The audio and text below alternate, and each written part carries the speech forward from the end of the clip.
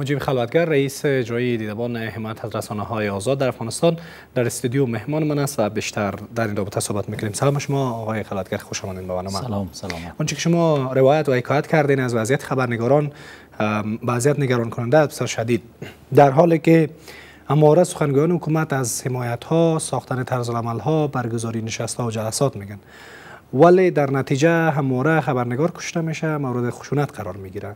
رای حل این بنبست چی می‌تونه باشد؟ دولت که مسئولیت نمی‌گیره در چین وضعیت. بسم الله الرحمن الرحیم ابتدا ما تسلیت عرض می‌کنم برای خانواده های بازماندگان حادثه امروز. انشالله که رفتگان روحشان قرین رحمت اللهی باشد. آنچه که خیلی بر ما مهم است از یک طرف سامانه ها و نهادهایی که داره شکل می‌گیره در سراسر افغانستان تحت نام کمیته مشترک یا کمیته های مشترک رسانه ها و حکومت. طرز العملی که برای مسئولیت و امنیت خبرنگار است.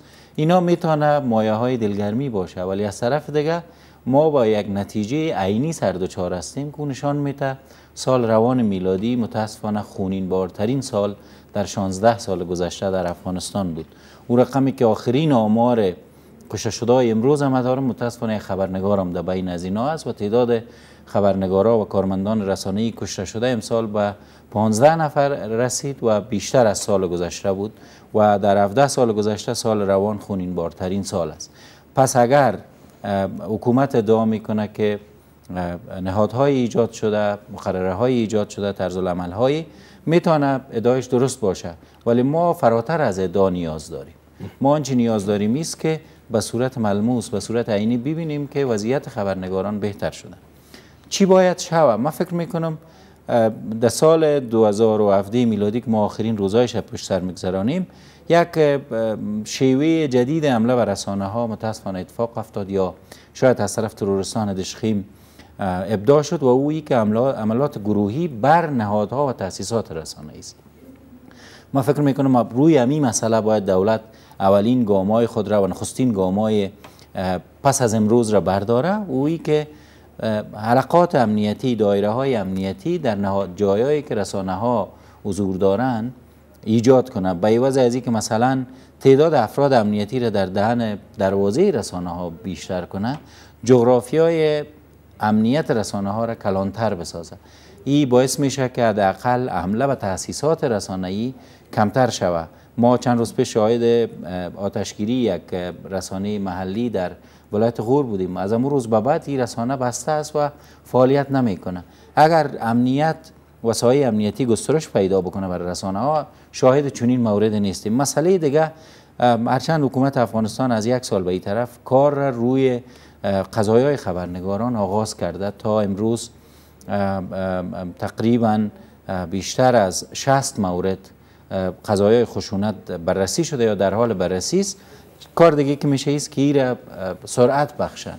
و ما فکر می‌کنم در کنار از این حکومت افغانستان برای افرادی که خشونت می‌کنه و او افراد در درون حکومت و نظام افغانستان است بر از اونا مجال کار کردن مجدد را با حکومت نته اینی موارد است که بله، حداقل می‌تونه یک تضمین باشه برای از که وضعیت در آتیه بهتر شود. یک بخش خشونت ها در برابر خبرنگاران از سوی نهادهای امنیتی واقع میشن و رخ میته تلاش های وجود داشتن در گذشته که شامل کرکلم درسی شود در اکادمی های نظامی که در کابل هستند یا در ولایات هستند این مورد چرا نشد تا اکنون موفق نشد این کار را بکنین که حداقل از حقوق و آزادی های رسانه و خبرنگاران اون افسر پلیسی که در جامعه تقدیم میشه بفهمه و برخوردش را تنظیم کنه مطابق به اساس آمارایی که نید اختیار داره بالاترین ارقام خشونت مربوط به خشونت هایی که متاسفانه افرادی در درون نظام افغانستان در عقب خشونت ها هستند.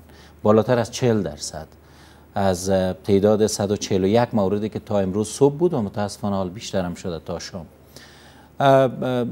یکی از دلایلی که خشونت اتفاق مفتاد علیه روزنامه نگاران از طرف نهادهای امنیتی ازان می شد از طرف حکومت که گویا افرادی که در درون حکومت هستند بخصوص در لایه های پایین اجرایوی اونا از حساسیت کار روزنامه نگاران آگاهی ندارند. به این خاطر پیشنهاد نای و فدراسیون رسانه های افغانستانی بود که یک نصاب آموزشی شامل اکادمی شود. ما شخصا نصاب آموزشی را از طریق نهاد نی ترتیب دادم به وزارت داخله از طریق امو ذرایع ارتباطی ارائه کردم. متاسفانه ای فقط در حد ای که تسلیم شدن و, اسناد را و دیگه کاری به پیش نبرد. من فکر می‌کنم این مورد بهتر است از طرف خود ریاست جمهوری یا کمیته مشترک در از او معاون دوم رئیس جمهور قرار دارن از طرف از او باید پیگیری شود. به حال هنوز نشده. من فکر می‌کنم امو کمبینی ها و کمتر نظری هایی که به اساسیت کار رسانه‌ای از طرف مدیران اساسی نهادهای امنیتی مدیران ارشد نهادهای امنیتی وجود داره این باعث شده که ما شاهد خلوتگر در این بله. نزدیک به دو دهه افغانستان در سری رسانه ها آزادی بیان دست بالایی داشت و یکی از دستاوردهای بسیار کلان عنوان میشه تا اکنون. و کار حرفه‌ای خبرنگاری در افغانستان در سطح از روزنامه‌نگاری تا کار مسائل تلویزیون و مسائل دیداری و شنیداری بودن. چقدر آسیب پذیر شده کار حرفه‌ای رسانه در افغانستان؟ با توجه به فرار مغزهایی که صورت می‌گیره با توجه به ناامنی هایی که وجود دارن خبرنگاران افغانستان را ترک می‌کنن. نهادهای بین المللی افغانستان را در زمره سه کشور خطرناک برای کار روزنامه نگاری قلمداد می‌کنن متاسفانه از طرف دیگه او رقمی که امسال ما شاهدش هستیم. نه تنها افراد در رسانه ها بلکه تاسیسات رسانه‌ای هم مورد عملی حمله تروریستا قرار می‌گیره. این وضعیت را به مراتب شکننده تر و بحرانی تر می سازه اما ما روی دو پارادایم متفاوت باید صحبت بکنیم. اولی که چقدر دانایی حرفه‌ای بودن در میان روزنامه نگاران شکل گرفته و نهادی نشده. در این زمینه من فکر می کنم افغانستان و کیفیت کاری رسانه های افغانستان شاید در تاریخی کشور بی سابقه باشه. همون رقمی که تعداد رسانه ها و کسرت رسانه ها هست. اما از طرف دیگه از دید ایمنی و مسئولیت روزنامه نگاران و خبرنگاران من فکر می‌کنم حالا در پشت میزی که یک روزنامه نگار داره گزارش نوشته می‌کنه دیگه مسئول نیست. ما در یک کیلومتری قصر ریاست جمهوری شاهد حمله بر یک رسانه بودیم. امروز شاهد حمله بر یک رسانه دیگه هم زمان به یک مرکز فرهنگی بودیم. به این خاطر ما باور ما است که رسانه ها هرچند به عنوان یک محل برای مباهات از طرف حکومت افغانستان و از طرف مردم افغانستان و حتی از طرف جامعه جهانی پذیرفته شدند اما در کنار از این آسیب پذیری از اینا هر روز از روز پیشترش بیشتر میشه. خب حالا در این وضعیت واکنش ها واکنش های نهادهای بین چی بوده؟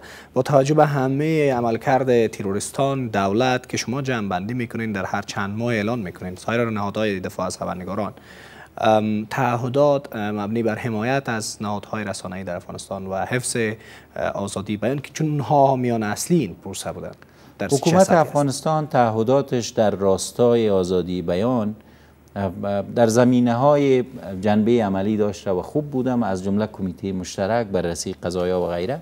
ولی در موارد روی کاغذ بوده. نهادهای بین المللی متاسفانه از زمان شکلگیری حکومت وحدت ملی برخورد دوگانه دارند برخورد سلیقه‌ای دارند با وضعیت آزادی بیان در افغانستان. اونا بر مبنای مثلا توشیح قانون دسترسی به اطلاعات درجه افغانستان را در زمینه آزادی بیان بلندتر بردن به خاطر توشیح مقرره طرز تاسیس و فعالیت رسانه های همگانی درجه افغانستان در, در زمینه آزادی بیان بالا بردن. در حالی که در عینیت و در, در ساحه عمل وضعیت خبرنگاران هر روز از روز پیشش بدتر است. ممنون از شما مجیب خلوتگر رئیس اجرایی دیدبان حمایت از رسانه های افغانستان. زنده